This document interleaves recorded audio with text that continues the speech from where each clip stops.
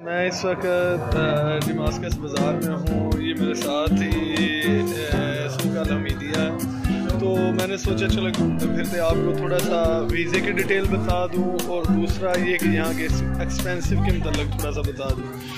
तो कुल मिला के बात यह है कि वीज़ा कोई मुश्किल नहीं है।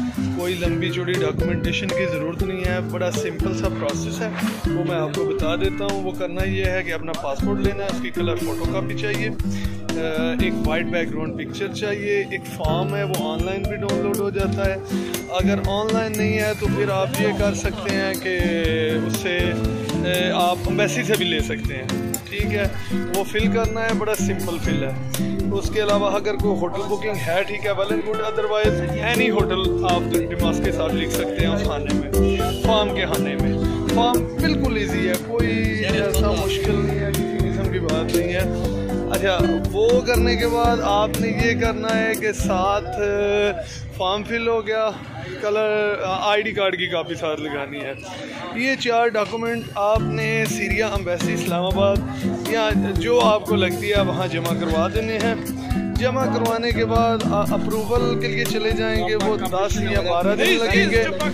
दस या बारह दिन के बाद वो आपको कॉल करेंगे। हंड्रेड परसेंट अप्रूव्ड होगी। जो है ना, अगर आपकी अप्रूवल अप्रूव्ड होगी, तब आपसे वीज़ा फ़ीस ली जाएगी और वो जस्ट है पंद्रह डॉलर अगर नहीं अप्रूव होगी तो कोई फ़ीस नहीं ली जाएगी रिजेक्शन की. ठीक है?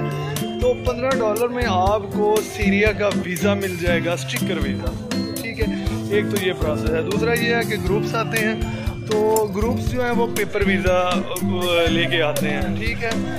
अच्छा एक ऑप्शन हो गया। अगर आप यहाँ आ जाते हैं, आपको सीरिया अच्छा लगता है, आपको भी वीज़ा मिला है दस या पंद्रह दिन का या बीस दिन का। अगर आपको सीरिया अच्छा लगा है तो फिर आप इसे तीन तीन माह के एक्सटेंड तीन दफ़ा करवा सकते हैं। और उसकी फ़ीस जस्ट पाकिस्तानी डेढ़ दो सौ रुपया फ़ीस है। ठीक है?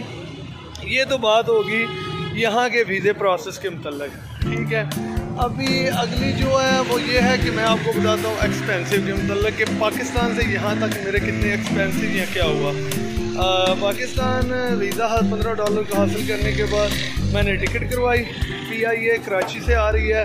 तो कराची बेसिकली लाला मूसा से हूँ कराची जाने के लिए आ, मुझे ज़रूरत थी टिकट की तो मैंने फिर ट्रेन की टिकट सत्रह सौ रुपये में करवाई और मैं पहुँच गया कराची। आ, आप अगर उतरते हैं कैंट तो आप एयरपोर्ट से थोड़ा सा दूर हो जाते हैं। आप ऐसा करें कि द्रिग रोड पर द्रिग रोड स्टेशन पर उतर जाएँ। वहाँ से उतर के वो सत्रह सौ रुपया, सौ डेढ़ सौ रुपया बाइक या मोटरसाइकिल वाला आपसे लेगा और आपको एयरपोर्ट उतार देगा। एयरपोर्ट टिकट मैं आपको बता देता हूँ। वैसे तो टिकट तकरीबन अस्सी हज़ार के नज़दीक है। मेरे दोस्त ने मुझे टोटली सिक्सटी फाइव थाउज़ेंड में करवा के दी। जफ़र है मेरे दोस्त कैनेडा से, उनकी शुक्रिया थैंक यू अच्छा उसके बाद पीसीआर टेस्ट वैसे तो साढ़े छः हज़ार कीमत है, लेकिन मेरे दोस्त हैं सुफियान भाई गुजरावाला से, उन्होंने पीसीआर मुझे वैसे ही मेरा फ्री में करवा दिया गिफ्ट कर दिया मुझे। सो यहाँ डिमास्कस आ गया। डिमास्कस आके आपको एयरपोर्ट पे याद रखें कि कतन आपने एयरपोर्ट में से टैक्सी नहीं लेनी, वो आपसे लेगा नियरली तीस हज़ार रुपया यहाँ का। वो पाकिस्तानी तीन हज़ार बन जाएगा। आपने ये करना है कि आपने बाहर निकलना है एयरपोर्ट से और बाहर टैक्सी करनी है, वो आपको जस्ट दस हज़ार रुपये सीरियन और पाकिस्तानी एक हज़ार रुपये में टैक्सी मिल जाएगी। आपने वहाँ से चले जाना है, चाहे डमास्कस सिटी चले जाएँ, चाहे वहाँ से जैनबिया सिटी चला जाए सैदा जैनब सिटी चले जाएँ। ठीक है? सैदा जैनब सिटी जो है, वो होटल चीप है। आपको होटल क्या ले मिल जाएगा नियरली अगर आप अकेले हैं तो अकेले का भी बीस से पच्चीस डॉलर है। आ, और अगर आपके साथ कोई दोस्त बाप है तो फिर भी इतना ही होगा। इसमें तीन तीन टाइम का सीरियन खाना आपको मिलेगा और बहुत अच्छा। मैं खाने के मतलब ऑलरेडी वीडियोस कर चुका हूँ और वो मैंने अपलोड भी की हुई हैं यूट्यूब पे।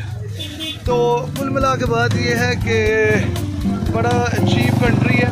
अगर आप यहाँ सीरियन सीरिया आ रहे हैं तो कोशिश करें कि जॉर्डन या लबनान का वीज़ा ले लें। यहाँ से चार घंटे का रास्ता है लबनान का, और चार घंटे का ही रास्ता जॉर्डन का है। ठीक है? तो आप बाई रोड कह लें कि पाकिस्तानी पाँच छः हज़ार रुपया फ़ीस दे के पाँच छः हज़ार रुपया गाड़ी का रेंट दे के आप लबनान बैरूत पहुँच जाएँगे, और इसी तरह अमन जॉर्डन पहुँच जाएँगे। तो आ, आ, ये तो थे हालात वाक़ात के आने के लिए वीज़ा प्रोसेस और रास्ते के एक्सपेंसिव और यहाँ होटल के एक्सपेंसिव ठीक है अगली वीडियो में आपको बताऊँगा कि ये कितना कॉस्टली है या कितना सस्ता है या कितना चीप है। ठीक है थैंक यू